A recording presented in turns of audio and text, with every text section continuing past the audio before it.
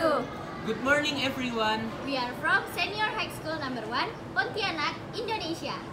So, we are from Creative Space!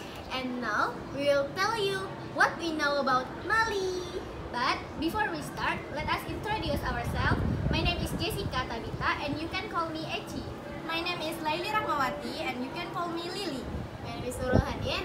call me Hanin. My name is Putri Sadida and you can call me Putri. My name is Immanuel Dwi and you can you know what is Mali and where is it? Mali is a landlocked country. Shares a border with Niger on the east, with Burkina Faso and Ivory Coast on the south, with Guinea on the southwest, with Senegal and Mauritania on the west, and with Algeria on the north. And the north of Mali reaches into the Sahara desert while the south contain Niger and Senegal rivers. And in the south, the climate is tropical and arid in the north. There are eight regions in Mali with Bamako as the capital city. And about its language, the official language of Mali is French, but in their daily life, they usually use Bambara language.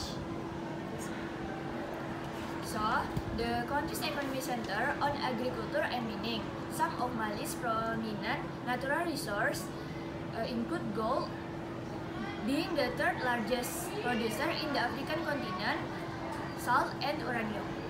Last, religion. Talking about religion in Mali, 94.8% of Malians are Muslim, 2.4%